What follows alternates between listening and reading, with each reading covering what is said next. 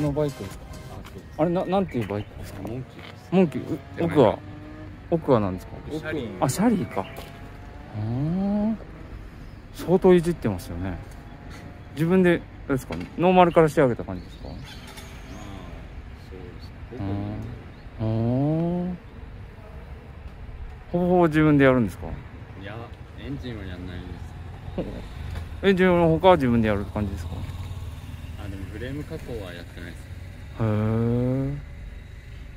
モンキーってタイヤってあのサイズですか？そうですね。あー。8インチあそういうこと？へえ最近手に入れたんですか？いやもう長いっすうーん。じゃあその当時はほぼノーマルだったってことですか？そうあそういうこと？へえ色とかも？色は塗り替えあ塗り替えたんだ。ああなるほどねシャシャーリーもそろそかなりいじってますか？いやシャリは全然。マフラーだけですか？マフラーとエンジンが変わあエンジン変わってんだ。何 cc から何 cc ですか？50から125に。125125って何のエンジンですか？中華エンジあ中華エンジンなんだ。それはネネットかなんかで買ったんですか？あそういうこと？ポン付けできたんですか？ンまあちょっと。加工しただけで。あそうなんだ。へえ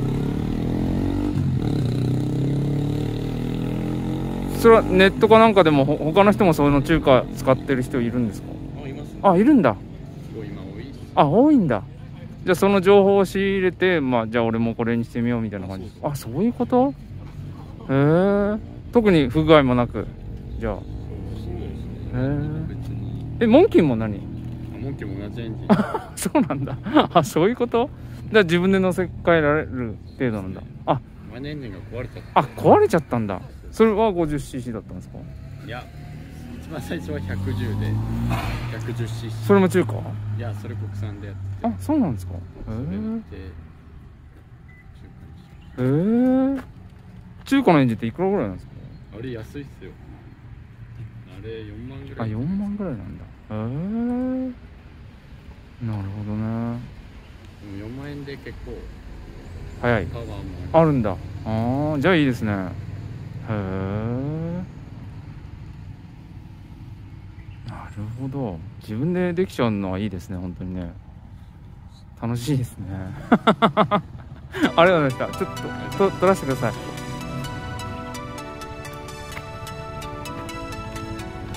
えあ同じエンジンだ。